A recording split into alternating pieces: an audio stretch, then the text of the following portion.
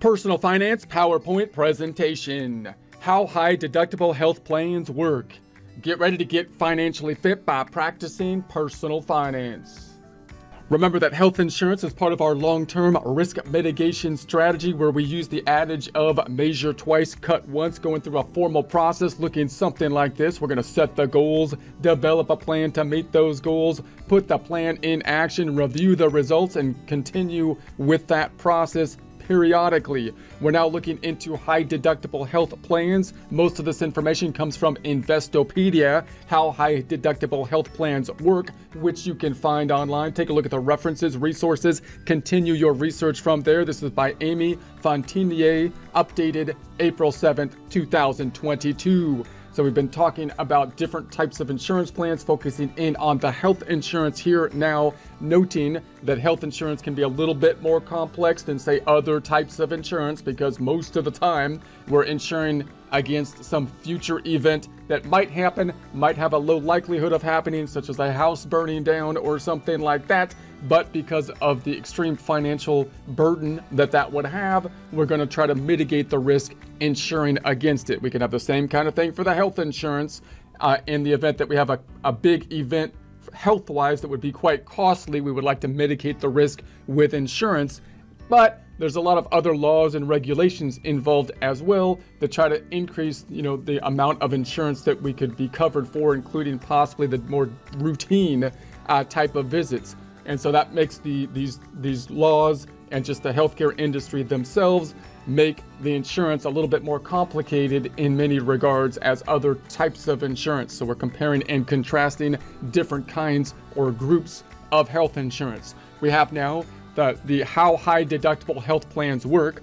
Do you want to save money on your monthly health insurance premiums and have the opportunity to open a health savings account? So this is kind of interesting because notice that these plans are often ones that you would do if you're trying to basically save money, which means you would think there would be less in terms of the benefits that you're going to be getting. But then, because of the laws and regulations that are involved, the government tries to step in and have other benefits that, that are kind of related to these high uh, deductible plans. So it's kind of an interesting situation. So if so, you'll need to have a high deductible health plan. So that's going to be the HDHPs we're talking about. Let's discuss what these plans look like, their pros and cons, and the times in your life when you might seek out or avoid an HDHP. What is a high deductible health plan, you might ask? And if you don't ask, I'm asking it for you, just if you didn't think about that question. According to IRS rules, an HDHP is a health insurance plan with a deductible of at least $1,400 if you have an individual plan, or a deductible of at least $2,800 if you have a family plan. The deductible is the amount you'll pay out of pocket for medical expenses before your insurance pays anything. So when we're talking about a high deductible, we're going to say we got these deductibles that the, they're going to set certain limits at because the government then wants to put these other laws in place if you qualify for this HDHP types of plans. But the general idea would be, well, if the if the deductible's higher, with the deductible works as we have seen, it's the traditional kind of health insurance type of system where you're going to say if some kind of catastrophe happens or if, some event happens, then you have to basically pay the deductible before the insurance kicks in. So you would think that that could be useful for people that are going to try to self-insure to some degree, save up money, and possibly people that aren't uh, having the need to go to doctor visits all the time, possibly younger, more healthy people, and or people that uh, that just can't afford the health insurance.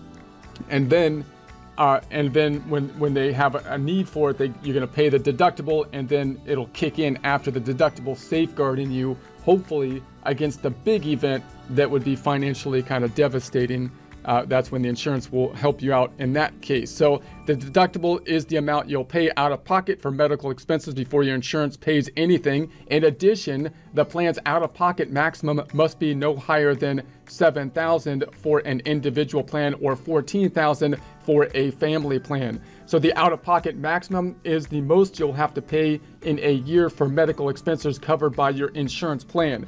So if it goes over the deductible, you, you, there still could be circumstances where you have to pay part of it, for example, and then there's going to be this cap that is the maximum. So that's again what you would like to be able to do. It'd be nice if you can have self-insurance in the event of an emergency up to be able to cover if necessary the cap if some catastrophe happened because after that point in time hopefully the insurance kicks in for that type of event. So advantages of high deductible health plans, the HDHP will usually have lower premiums than an equivalent health insurance plan with a lower deductible. So a higher deductible usually means that you're going to lower the premium because that's less risk to the insurance company. And so that's the trade-off in just generally insurance terms for most types of insurance. For folks who don't anticipate many medical expenses for the upcoming year, it makes sense to minimize your premiums and choose an HDHP. So if you're not someone that has a lot of doctor's visits and so on, if you're young and healthy, then it might make it makes more sense then to have the high deductible one and have a cheaper premium and possibly pay for your own visits that you need to that you need to have where you're gonna have to pay more as opposed to if you're in a situation where you're visiting the doctor a lot then it might uh, actually be cheaper to pay for a higher premium type of plan which has more benefits for those routine types of uh, visits so there's a good chance you'll save money, perhaps several hundred dollars or more over the year this way. Just be sure you can afford the out-of-pocket maximum in a worst-case scenario. So the idea would then be, and I'm going to self-insure possibly if possible, so that if that you know catastrophe happens, I can cover the deductible and I can cover the out-of-pocket maximum uh, if I need to. That would that would be the ideal so that you're kind of covered in the event of that risk situation that would be a, a real tragedy kind of, kind of health-wise type of situation, which could be financially costly. So if you can't, you could end up in medical debt and the added interest will make it even harder to pay your bills. A health insurance plan with higher premiums but an affordable out-of-pocket maximum might be a safer choice if the HDHP's out-of-pocket maximum is more than you can afford. Here's like an example comparison of the HDHP, that's the high deductible that we're looking at versus the non-HDHP. And we've got the premiums at the 1,500 versus the 3,000. So a significant difference can be there for the premiums, the amount you pay, the deductible being higher for the HDHP significantly for certain events uh, that could take place versus the non-HDHP, meaning you pay the deductible before the insurance kicks in. And then you can see in this example, we got the total cost before co-insurance at the 4,500. Note that the HSA is eligible for the HDHP versus the non-HDHP. And the rationale you can think about why, you know, why exactly would that happen? You can you can imagine that the HDHP is likely to be uh, taken by lower income people or possibly people that kind of want to do more of their own self-insurance up to uh, like a degree, for example. And because possibly more low-income individuals would be taking the HDHP because of the lower cost, then you can imagine Congress saying, well, that would mean that they might not have as much access to the preventative care or the routine kind of maintenance kind of stuff for the doctor's visits. And so we want to give them that in some way. So that's when you got these other laws that come in, like an HSA, which might be available, which could be helpful, but also can be a little bit confusing. So you got to make sure that you're understanding how an HSA works, health savings account, if you have the high deductible health plan. So the options above show a, a, a, situation where it clearly makes sense to choose the HDHP. With either plan, you'll end up spending $4,500 of your own money in premiums and deductibles if your medical expenses for the year are at least as much as your deductible. But with it, the HDHP, you're only guaranteed to spend $1,500 in premiums unless you know for a fact what your upcoming medical expenses will be.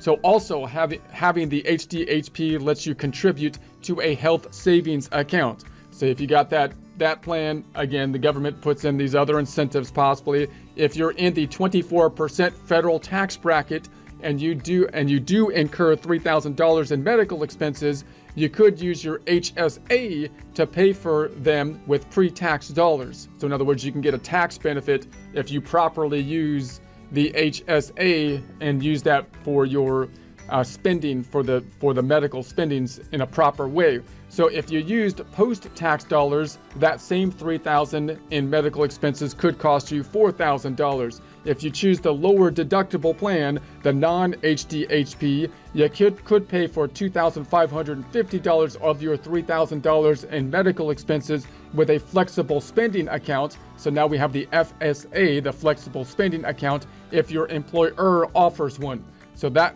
is an account that typically would go through or be part of a benefit that might be offered through the employer as opposed to the HSA health savings account, which you might be able to set up uh, on your own. Then you'd have similar tax savings with the non HDHP as well. Even this simple example isn't really that simple. It's really not. Similarly, most real life situations aren't clear cut as to whether you should select a high deductible or low deductible plan. You'll need to do the math uh, for your own circumstances, taking into account your likely medical expenses for the year and the premiums, deductibles, and out of pocket maximums for the available plans. So we got the high deductible plans and preventative care. So the preventative care those things that you're trying to do, you know, like the more routine kind of stuff. so if you do choose the high deductible plan, you'll still have 100% coverage for preventative services from in-network providers before you meet your deductible because of the Affordable Care Act requirements. So now you've got the kind of you got this question in terms of what is kind of preventative care versus what is what is like a normal doctor visit type of scenario that wouldn't be preventative care. Preventative care now becomes like a key word with that normal maintenance kind of stuff because again, you can see the laws and regulations are trying to make it so that people are going to get the preventative care. And again, you can you can kind of see how all of this distorts things because it kind of moves away from what traditional insurance was. Traditional insurance kind of was there to, to safeguard you against a big event that happens, kind of like your home burning down for the property insurance. And if we if we now have preventative care covered, it's kind of like if you had car insurance and they're trying to get the insurance to cover the cost of like the oil and the and the tire rotation and stuff like that. You can see how that's going to distort, you know, the the insurance costs and that kind of stuff. You can't just you know, if you change one thing and it's a free market, uh, everything else is going to kind of change. So now we've got this other definition for what what is it to be preventative versus other kinds of doctor visits. So quite a few services fall into this category and you aren't responsible for any uh, co-payment or co-insurance for any of them. So notice I might use that term like preventative care kind of interchangeably sometimes when I'm trying to say normal health doctor visits doctor visit type of situations, but uh, you might use that term more strictly as well to decide what is preventative care versus other types of care for the purposes of the coverage. So here are a, few examples taken from the healthcare.gov, which you can take a look at online. So for adults, abdominal aortic aneurysm, one-time screening for men of specified ages who have ever smoked aspirin use to prevent cardiovascular disease for adults of certain ages, blood pressure screening, cholesterol screening for adults of certain ages at high risk, uh, uh, colorectal cancer screening for adults 50 to 75, depression screening, diabetes type 2 screening for overweight obese adults 40 to 70, certain immunizations for adults such as the flu shot, for women, we have the anemia screening on a routine basis, the breastfeeding comprehensive support and counseling from trained providers, and access to breastfeeding supplies for pregnant and nursing women. We got the contraceptives, Food and Drug Administration approved contraceptive methods, sterilization procedures, and patient education and counseling as prescribed by a healthcare provider for women with reproductive capacity, not including abortifacient drugs. This does not apply to health plans sponsored by certain exempt religious employers. Breast cancer mammograph mammography screening every one or two years for women over 40, cervical cancer screening every three years for women 21 to 65, osteoporosis screening for women uh, over age 60, depending on risk factors. Well women, well women visits to get recommended services for women under 65. With regards to children, we've got the autism screening for children at 18 uh, at 18 and 24 months. We've got the behavioral assessments, the blood pressure screening, the depression screening for adolescents, the development screening for children under age three, hearing screening for all newborns, vaccines for illnesses such as whooping cough, influenza, and the chicken pox the HSA eligibility. That's the health savings account. So, as noted already, the other major advantage of having the HDHP, besides typically lower premiums, is that it allows you to contribute to a health savings account. So, these can get a little bit complex, but if you're able to figure them out and combine them with the with the high deductible insurance, you could save money with them possibly. So, because the HSA contributions come from pre-tax dollars, you can save a considerable amount uh, on your medical expenses when you pay for them with your HSA. So in other words, your expenses that you got to pay, and you're going to be paying possibly more of them due to the fact that you have the high deductible plan you might be able to get a tax benefit from them if you properly use the HSA. So, for example, if you're in the 24% federal tax bracket, a $100 medical bill will effectively cost you $76. You must have an HDHP to be eligible to contribute to an HSA health savings account, and in order to be eligible to receive any employer contributions to your HSA. So, you might have employer contributions to an HSA as well. So you can discuss that with the employer. In fact, free money in the form of uh, optional employer contributions to your HSA is another potential benefit of having an HDHP and an HSA. In other words, you might be able to get an employer benefit by contributing to the HSA and get tax benefits uh, for that, getting kind of like a form of compensation that has tax benefits for it rather than in the form of uh, just straight wages where you obviously would be paying taxes, it'll be reported on the W 2 and so on. So, in addition, you don't have to keep your HDHP forever to take advantage of an HSA in future years. Contributions carry over from one year to the next, and you can invest your contributions to help them grow too. Uh, in the future, even if you no longer have an HDHP, you can use money previously deposited to your HSA to pay for health expenses. So you're going to try to get the tax benefit by putting the money into basically this HSA health savings account in some form or another, possibly through the employer or possibly setting one up. And and the problem with that is that the money's restricted in that case because you got to spend it on medical expenses because that's the point. That's why you got the benefit from it. But obviously, you don't know how much medical expenses you're going to have from year to year. You're just kind of estimating. But if you don't spend them in that year, then the question is, well, what do I do now? I got this money in an HSA, it's kind of locked up. Well, you might be able to earn uh, revenue on it and then possibly take it out, hopefully be able to take it out in the future for qualifying reasons such as medical expenses uh, in the future, which would be the idea uh, and hopefully give a tax savings for that. So, disadvantages of high deductible health plans. The big drawback to choosing the HDHP is having potentially high out of pocket expenses for the year. As of January 1st, 2021, the Affordable Care Act rule, rules states that the most any person can pay out of pocket maximum is $8,550 for in network benefits, $8,700 uh, for 2022. The family maximum is $17,100, $17,400 for 2022. Previously, insurance plans could require that one person in a family plan meet the family maximum. This new rule limits your risk if you have a family health insurance plan. Once any family member has 8,850 in medical expenses, their costs may be 100% covered for the rest of 2021. So now you got to worry about those maximum out of pockets they could have. And ideally, you would like to be able to have enough money in the event that some medical problem happened to cover the maximum.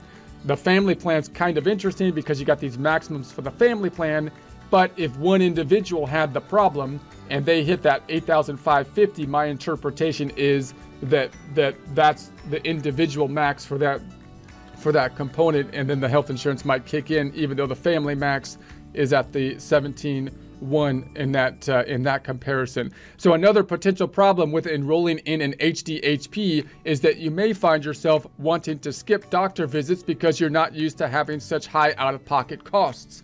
So this is what the argument is. You can see this from a political perspective. They're trying to kind of eliminate these high deductible ones, or they cut some people would kind of like to because they say that it disincentivizes people to do more of the preventative stuff. Which now, when I use the term preventative, you know, some of those preventative things, they're trying to get the preventative things to be covered in other if they're under the term of preventative. But you know, the normal routine kind of maintenance type of things that uh, are usually good, uh, good things to do, or possibly could be good things to do for preventative or just to keep your be aware of your health situation. Maybe things that you're less likely to do if you have those out-of-pocket costs related to them. That would be the argument. So don't choose an HDHP if it will cause you to fall sick or hinder your recovery because uh, you want to save money in the short term by avoiding doctors, procedures, or prescriptions. It will cost you more in the long term, plus you'll be physically uncomfortable. so high deductible health plans and you. Whether or not it makes sense to have an HDHP depends on your life stage and the associated medical expenses you're likely to incur. In particular, you should weigh the benefits of lower monthly premiums against potentially uh, accumulating higher deductibles and out of pocket expenses that can add up and overwhelm some consumers. If you're young and healthy and rarely go to the doctor or take prescription medication, you'll probably save a lot of money by choosing an HDHP since the premiums are lower. So when you're young and, young and healthy, then it's more likely that, that they would pay off and you'd still be covered uh, against the big event that happens. That's what young, healthy people usually kind of forget that, that, that they can they can have a medical problem and they want to be covered against it. Hopefully, that's just like the house burning down. We hope it doesn't happen, but you want to be covered if that happens. And then you might also think that you can you can self-insure to some degree as well and and use the high deductible and possibly take advantage of the tax benefits too. So if you're planning to have a baby in the near future, an HDHP might not be a good choice since the cost of hospital childbirth are high and your out-of-pocket expenses could easily hit your high out-of-pocket maximum. So obviously having a baby, there's a lot of doctor visits there. So you might hit the maximum in that case. So uh, it may actually be more cost effective to instead consider a plan with lower deductibles and lower out of pockets, even if the premiums are initially higher. Similarly, a HDHP also might not make sense if you have young children since they tend to visit the doctor frequently. So, you know, if you're young and healthy, we usually mean like you know, and oh, older than 18 and healthy, right? You're a young adult and healthy, but obviously children, you typically want to have more screening or just, you know, typically just torture the poor kids by making them go to the doctor and dance around with things in their ears and stuff. So, so which can quickly accumulate the deductibles. That could be costly. That kind of fun time could be costly. So when your children are older and if they and you are healthy and HDHP might make more sense. On the other hand, if anyone covered by your plan has a chronic condition that needs ongoing treatment, you might benefit from a plan with a low deductible. Finally, if you're older, you're statistically more likely to have higher medical expenses, clearly. So, so you may not want to take a chance on HDHP.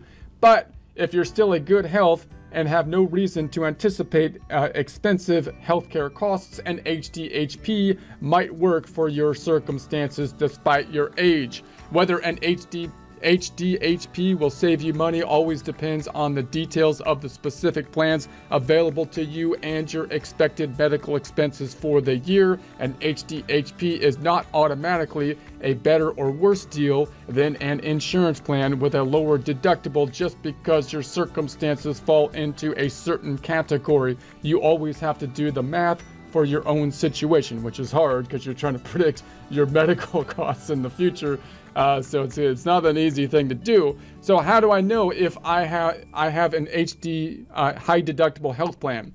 So if you have access to a health savings account, an HSA, then you have a high deductible health plan. This type of insurance has a lower premium and a higher deductible than a traditional health plan. Having an HDHP is one of the requirements for a health savings account and HSA. If your current health insurance plan for 2021 has a maximum deductible of $1,400 or $2,800 for family coverage with a maximum uh, deductible of $7,000 $14,000 for family, then it qualifies as an HDHP. What is the main drawback of a high deductible health plan?